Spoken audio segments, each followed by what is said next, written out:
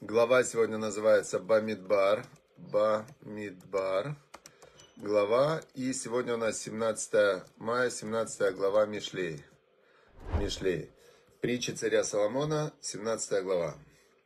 Значит, э, сегодня в сегодняшнем отрывке недельной главы, в сегодняшнем отрывке недельной главы рассказывается о, о перечислении идет сыновей, сыновей Маше и Аарона. И очень интересно, очень интересно, как, сказа, как сказано здесь, вот идет перечисление, сейчас я вам прочту, да? Идет перечисление вот, вот так написано. И вот родословие Аарона и Моше. В день, когда говорил Бог Моше на горе Синай. И вот сыновья, и вот имена сыновей Аарона. А, значит, Пхор, первенец Аарона, Надав и Авиу. Надав это был старший его сын, и Авиу это был второй сын. И Элязар и Тамар, это были его еще два сына. И вот имена сынов Аарона, значит, куаним, священников, которые были помазаны, которые, а, которые их руки были подготовлены для того, чтобы служить Всевышнему. И возникает вопрос, да, а, и дальше написано, и умер Надава Авиу перед Богом, когда они приносили чужой огонь перед Богом в пустыне Синай, и у них не было сыновей. И начал, а, стал коином вместо них Илязар и Тамар. Это были средние сыновья с Аароном их папой. А где... И дальше говорил Бог Моше, приблизь колено Леви, которая, значит, э, которые будут прислуживать Аарону священникам, и они будут его обслуживать. Значит, э, что мы отсюда видим? Очень интересная вещь. Возникает первый вопрос, очень важный. Вопрос такой. Написано, вот родословия Моше и Аарона. И идет перечисление сыновей Аарона, и не идет перечисление сыновей Моше Рабейну. Почему? Почему это называется родословие сыновей Аарона, сыновей Моше и Аарона, а называются сыновья только Аарона? Мы знаем, что сыновья Моше Рабейну, они не пошли по пути своего папы. Сыновья Моше Рабейну Гершон Элезер, он э, не, непонятно почему, но он, может быть, он был занят, может быть, он их не воспитывал хорошо, может быть, они были в плохом окружении, хотя, э, хотя Итро, он принял потом иудаизм, и он стал э, потом, тесть Моше, он был очень такой великий человек, но сыновья Машарабейна не пошли по пути отца. Теперь, а сыновья Аарона, сыновья Аарона, они полностью соблюдали Тору, были священниками и так далее. И говорит нам устная Тора, комментарий, что тот, кто соблюдает э, ученик, это как сын. Ученик как сын. То есть, если ученик, он полностью выполняет э, то, что ему говорит учитель, то он становится как сын его. То есть, он с ним э, как одно целое. И отсюда идет вот этот вот очень важный закон, когда в Торе написано «Сыновья вы для Бога Всесильного вашего, баним атем для Ашамелокейхем».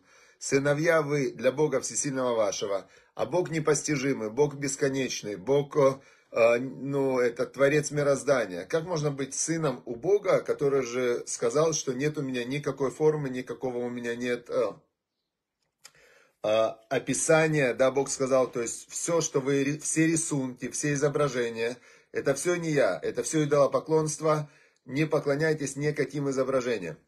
Так как же получается, и тут же Бог говорит, сыновья вы для Бога Всесильного вашего, как это сочетается? И вот здесь как раз объяснение в этой главе, что ученик равно сын. И получается, что если, например, был Любавичский Рэбе, да, у которого не было детей, так получилось, что у него вообще не было детей. Но у него миллионы учеников. Так э, он был для них, для всех как отец. Потому что все, кто идут по его заветам, они становятся для него как сыновья. Маше Рабейну, его сыновья, они были физически его сыновья, но они не шли по его заветам. А сыновья Аарона, физически они были его племянники, но они шли по его заветам, и они были для него как сыновья, это его родословие. Это очень важный такой закон, который нужно помнить. И Это самый простой способ соединиться со Всевышним и стать сыном для Всевышнего. Это идти по заветам Всевышнего. Понятно, да? То есть каждый, кто идет по заветам Всевышнего, он этим самым становится как сын для Бога. Поэтому мы обращаемся ко Всевышнему, говорим Авину Шебашамаем, Папа наш, что на небесах. И э, это мы имеем в виду, что мы тебя готовы слушать как, как Папа. Это то, что касается этой главы. Дальше идет э, в этой главе идет э, приказ колену Левии, э, чтобы они обслуживали священников и обслуживали храм а еврейский народ отделяет десятину для того, чтобы обеспечивать левитов, которые посвящают свою жизнь служению Всевышнему. Это тоже схема, которая очень понятна. Всевышнему должны служить все. Мы все являемся должниками перед Богом. Бог нам дал жизнь, Бог нам дал рождение, Бог нам дал все, что у нас есть, дыхание. То есть э, мы обязаны Всевышнему своей жизнью. Теперь, значит, мы должники. Как выплачивается этот долг? Выполнением заповедей и воздержанием от э, запретов. Теперь, если человек говорит, а, типа, я не, не хочу это слушать, я это не буду слушать. Здесь очень интересно, сегодня как раз в 17 главе в Мишле есть на этот счет ответ, да? Очень, очень ответ такой, прямо, если человек не хочет выполнять свой долг перед Всевышним, знаете, как тут написано? Смотрите, очень интересно. Значит, написано так. 13 отрывок 17 главы. 13 отрывок 17 главы. Мышивра Тахатова. Тот, кто возвращает злом за добро. То есть человеку сделали добро, а он ему возвращает злом. Вместо благодарности, спасибо и тоже добра. Гмилут Хасадим это воздавание добром. Человек вместо этого что делает? 13 отрывок. 13 отрывок. Мышив ра тахатова, возвращающий зло вместо добра. Лота муж рами бейто, не уйдет зло из его дома. То есть э, все идет мера за меру, но получается, тебе сделали добро, а ты вместо ответа добром возвращаешь злом, то есть это как бы двойное преступление. Не уйдет зло из дома того, кто так делает. Поэтому когда э, каждый должен Всевышнему выплачивать свой долг. Но Всевышний, он сказал, понятно, человек живет в этом мире, у него много всяких там интересов, работы, развлечений. Да, понятно, я вас люблю, де... ладно, говорит, не надо, расслабьтесь, сделайте пару вещей хотя бы, да, помните о Всевышнем, благодарите, э, молитесь, э, там, выполняйте какие-то заповеди. Все, я даже так согласен, говорит Всевышний, да, но а, помните, что есть люди, которые вместо вас выполняют ваш долг. И это колено Леви. Колено Леви, это они полностью посвятили себя служению Всевышнему. У них не было своей земли. А, это, им было прям запрещено иметь свою землю. Они полностью себя посвящали служению Всевышнему.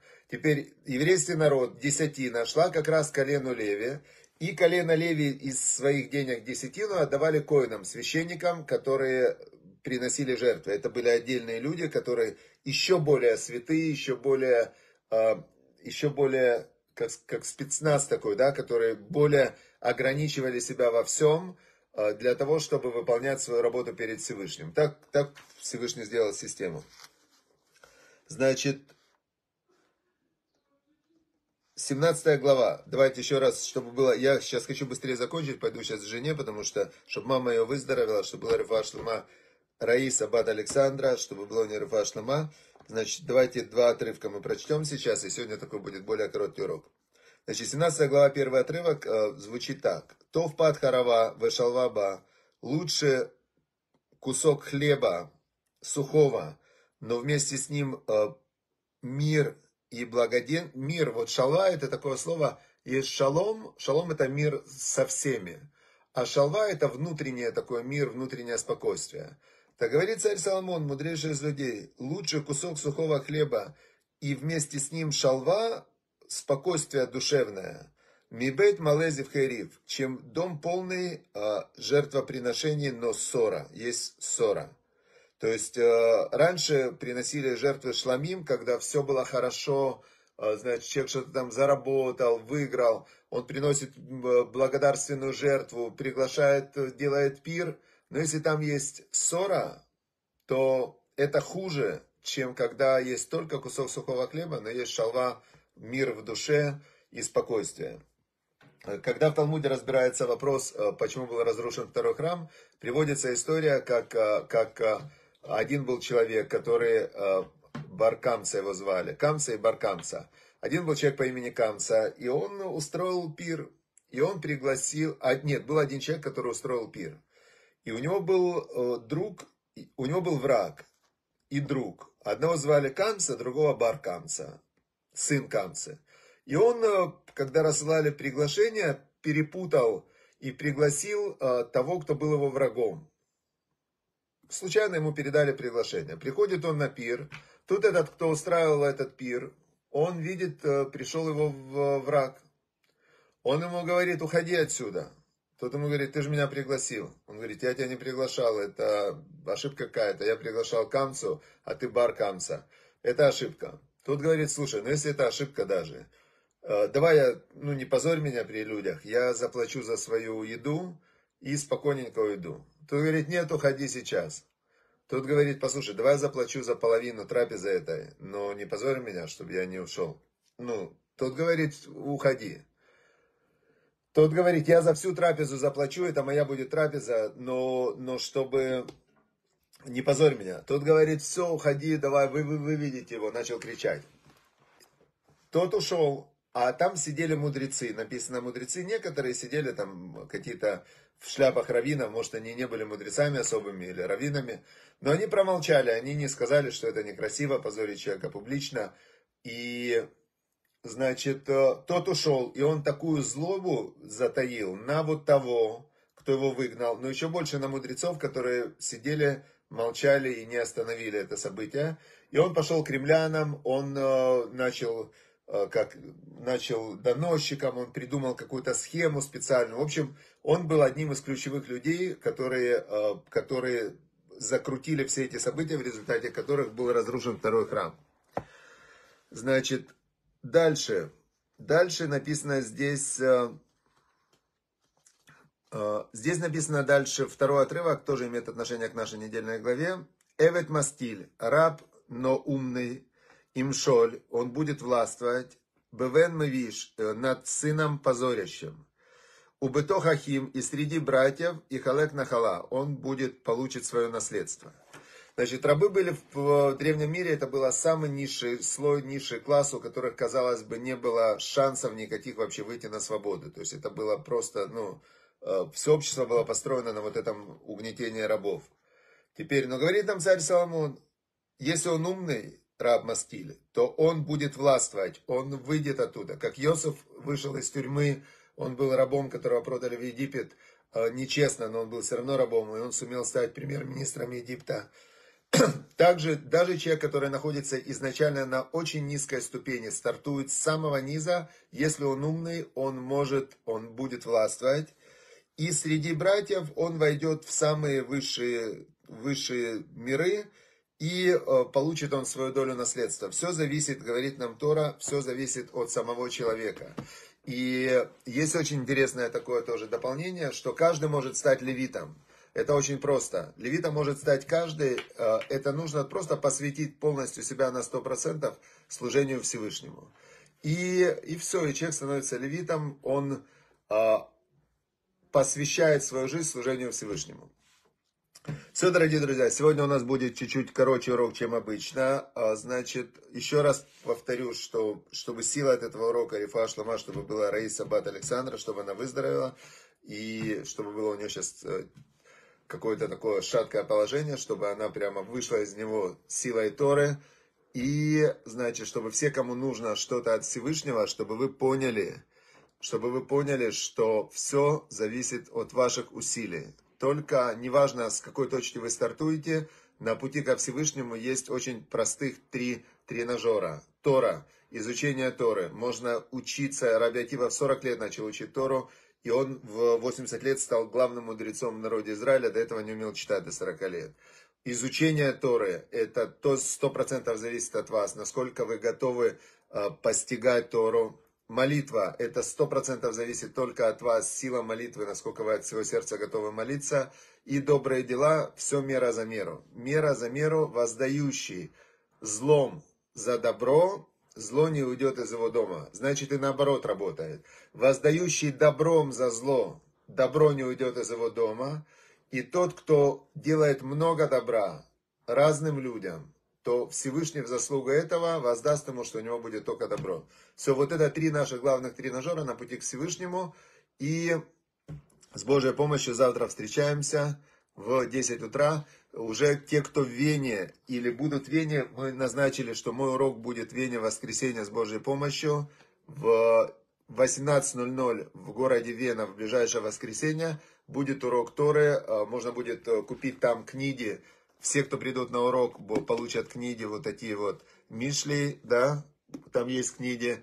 И можно будет, мы поучим Мишли, и будут личные разборы вот э, личные ситуации, мы возьмем несколько человек по 10 минут и постараемся найти, э, как им в каждой конкретной ситуации выстроить свой путь к Торе, к соблюдению заповедей и к выполнению воли Всевышнего. Надеюсь, что будет очень интересно, весело, полезно, поэтому жду вас в Вене. Если вы сами приехать не сможете, то, э, то распространите информацию. Может быть, у вас есть друзья в Европе, в Вене, вокруг Вены, в Праде, в Будапеште, в Варшаве.